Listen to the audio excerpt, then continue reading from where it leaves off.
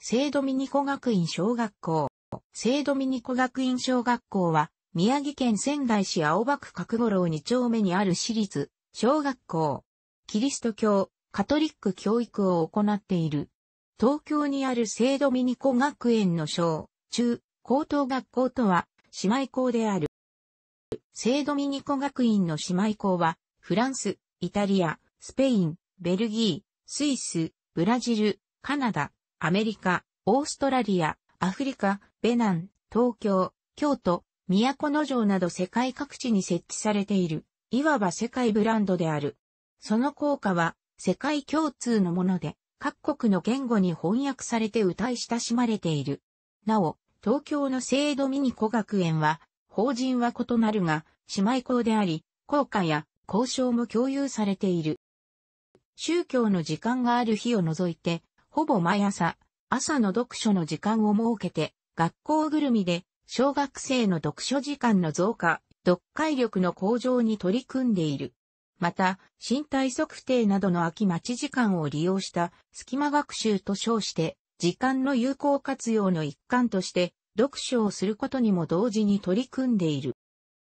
宮城県内ではなかなかお目にかかれない数少ない中学受験に対応した授業カリキュラムを実施している。それゆえに、平成21年から開校した仙台市立仙台、清涼中等教育学校や平成22年から開校した宮城県仙台に、家中学校の第一期の合格者を早速輩出したり、また、例年首都圏の南関市立、国立中学校の合格者や、仙台会場で受験ができる北霊中学校、高等学校、函館ラサール中学校、高等学校、いずれも北海道に所在の合格者を輩出することが、たびたびあるほど、仙台市内では中学受験対策にも実績がある。小学校6年間のうちに英検3級以上の取得を主眼にした児童英語教育にも力を入れている。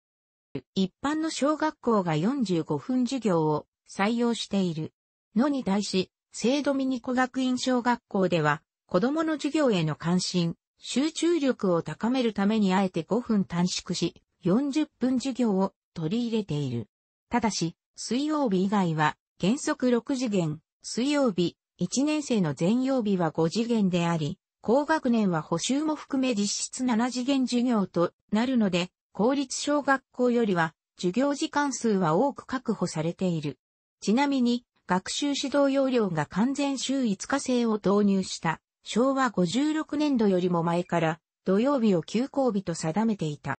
体育、音楽、図画工作、理科、算数の授業では、専科制を採用しており、それ以外の授業は、学級担任が担当している。聖ドミニコ学院中学校は、高等学校開校の前年である1959年に開校し、小、中、高の一貫教育の一翼を担う予定であった。だが、1970年代頃になると、書位、塾ブーム、偏差値社会の影響もあって、小学校は地元市国立中受験への進学校、高校は就職志向のお嬢様学校という構図が徐々に強まっていき、結果として中学校の生徒数の急減につながった。これは内部進学の権利を持つ小学校の女子が同校を避けて他の国公私立中学校への進学をするようになったことが最大の原因と言われている。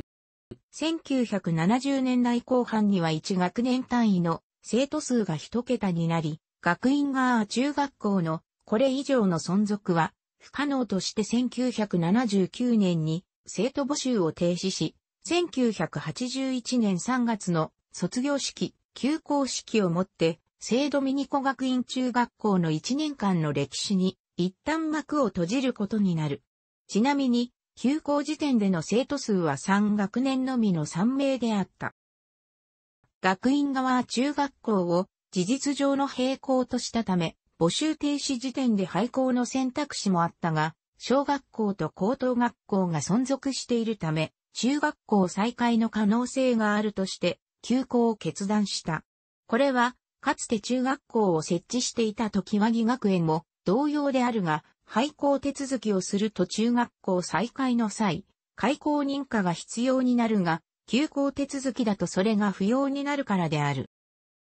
休校後も小学校の同窓生や保護者を中心に再開要望が何度も出されていたが、学院側は時期尚早として再開には消極的だった。しかし、小学校が70年代当時よりもさらに難関志向が高まったことと、高校の特別進学コースが開設されたこともあり、ついに2009年4月からの生徒受け入れ再開を発表した。聖ドミニコ学院中学校は1学年30名で女子のみの受け入れとなる。校舎も高校生が主に使用する中央校舎と西校舎を使用する予定となっており、再開は高校ベースであると見込まれる。ただし、小学校からの受け入れは保護者面接のみとなっているため、一貫教育も再開する見込みである。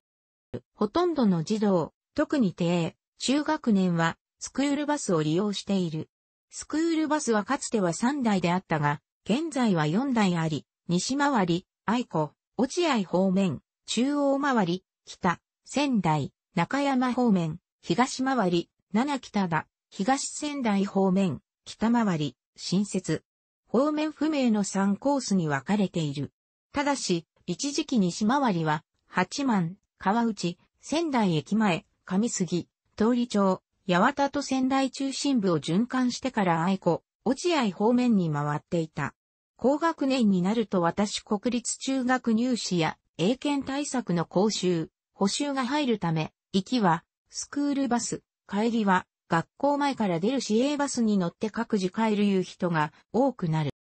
市営バスを利用して登校する場合は、聖ドミニコ学院前、宮城一校前もしくは、八幡一丁目のバス停で下車することになる。立地は、閑静な住宅街にありながら、宮城県庁、仙台市役所から徒歩20分と恵まれている。ただし、学校前の道路が、登校の一方通行であるため、自家用車で訪問する際は事前に、道路地図で確認した方が良い。公共交通機関を利用する場合は下記を参考。上記のバスのほか、仙台駅10番乗り場より発車される、大学病院、愛子、もしくは折立経由のバスを利用することもか。